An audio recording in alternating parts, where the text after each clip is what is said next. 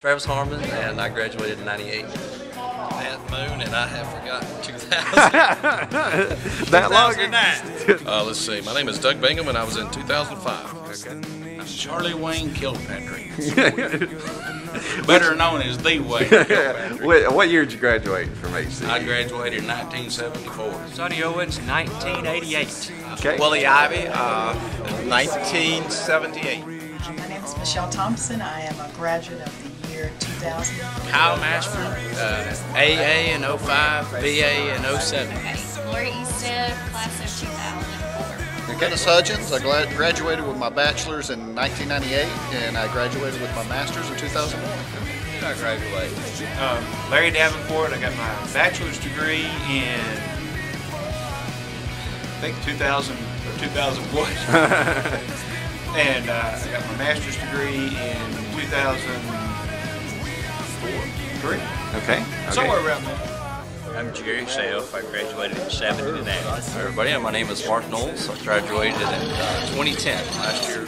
I'm Dennis the Minister Jones, and I graduated in 1977 over on the old campus. Okay.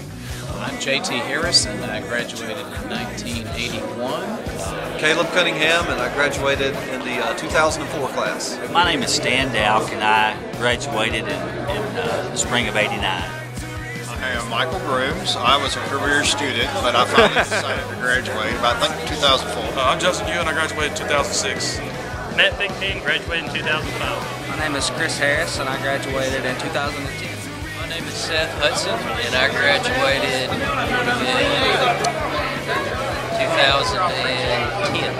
All right, I'm David Durantis. I graduated from Heritage in 2002. Jared Kelly, and I graduated in 2010. Best memory of HCU was when Brother Davison handed me, uh, well, it's funny, memory. Brother Davison handed out a test in class, and it was the first test I'd taken in 30 years.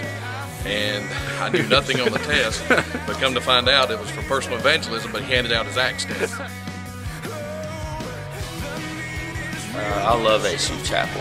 Yeah. Absolutely love it. The teachers that I had, I was just talking about those in class. Um, most of those guys that were my teachers, I've actually got to work with as co-workers through the years, and and uh, and so they made an impact on me that will last me until I. The greatest memory of I always think of, I think of it every Sunday. When David Underwood told us that preacher students, you run down a highway and you constantly passing telephone poles. It said every telephone pole represents Sunday. If you get to a telephone pole and you're not ready, it's your fault. Guess my best memory would be when I first started, first became a student. Um, this place was just so friendly, it was so loving. I really never experienced a work environment like that before. And um, I just wanted to be a part of it. I'm still a part of it because I loved it so much. Best memory along uh, probably would be this. Uh, I was already uh, doing a little personal work, and I didn't know what I'm doing, what I was really doing because I didn't uh, uh, have the knowledge and, and the, the skills. I know how to meet people. But my best memories is the campaigns and all of the evangelistic spirit. I'm gonna just tell you. I remember one time they had a workshop and Mitt McKnight was the speaker, uh-huh. and he was at Dobber Drive Church of Christ. And when he got through, I guess it was about 10:30 that night or 11, and and I left there to call a person up that I knew wasn't in the Church of Christ, woke him up out of bed to their apartment. We had a Bible study.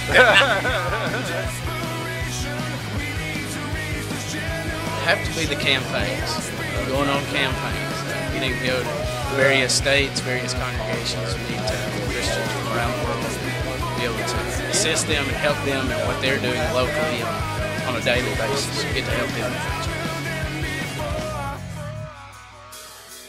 Um, well, I met my husband here.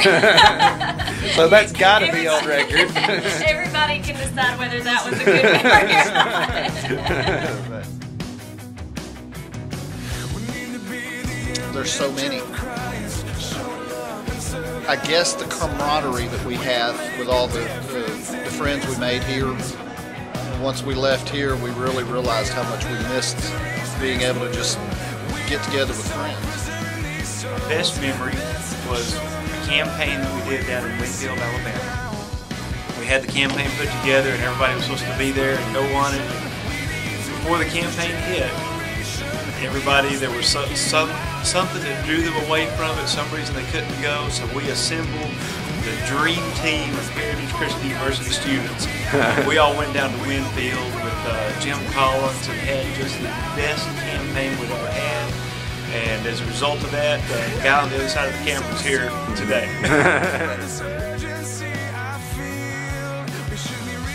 Some of the men that were here then were just uh, astounding. Uh, David Underwood. Uh,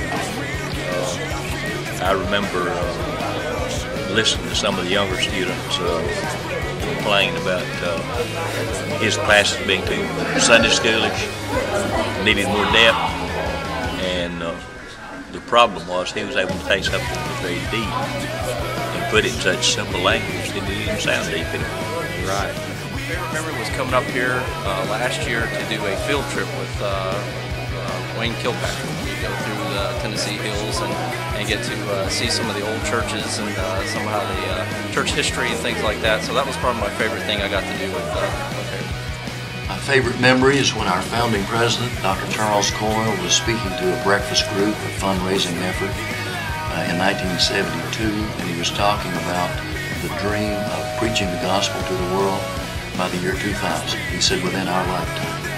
And I remember how thrilled we all were. I remember sitting as a new student on the edge of my seat. And then some good brother from the back of the room raised his hand and asked Brother Coil this question. Brother Coil, what are we going to say if we don't get the gospel preached to the world by the year 2000? And Brother Coil squared his shoulders and stuck out his chest and looked that man directly in the eye, smiled, and said, We will be better for having tried. And when he said that, that lit my fire. That set my soul on fire.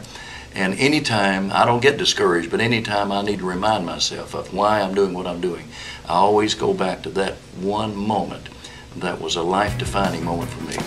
Anytime you try to do anything that is uh, in the will of God, and uh, whether you succeed or fail, whether you meet all your goals, we, we are better people for having tried.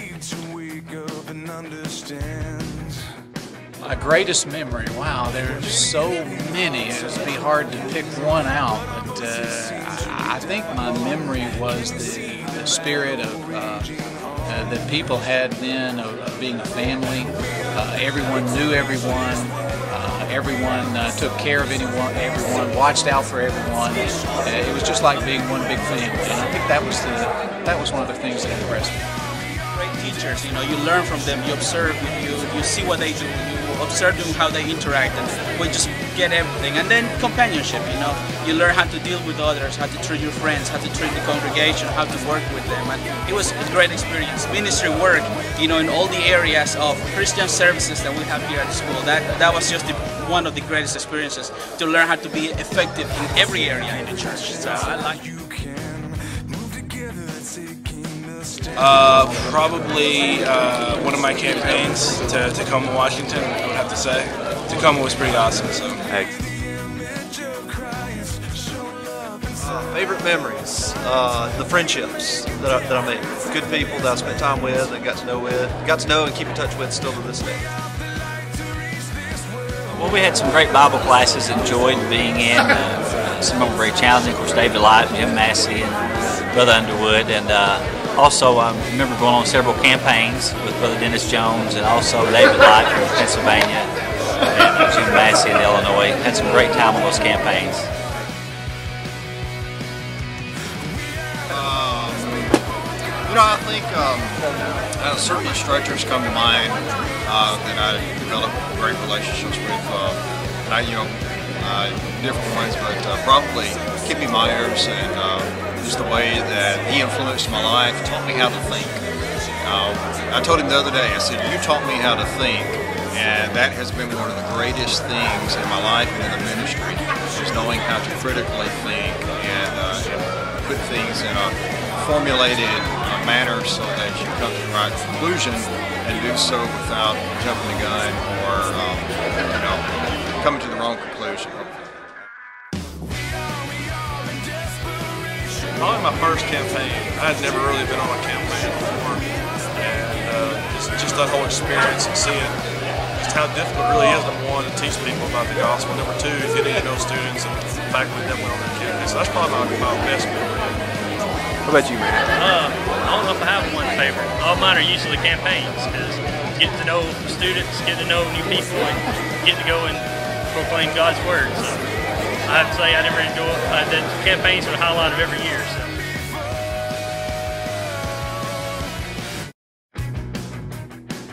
I guess uh, the greatest memory that I can think of would just be the, the friendships that I've made, and uh,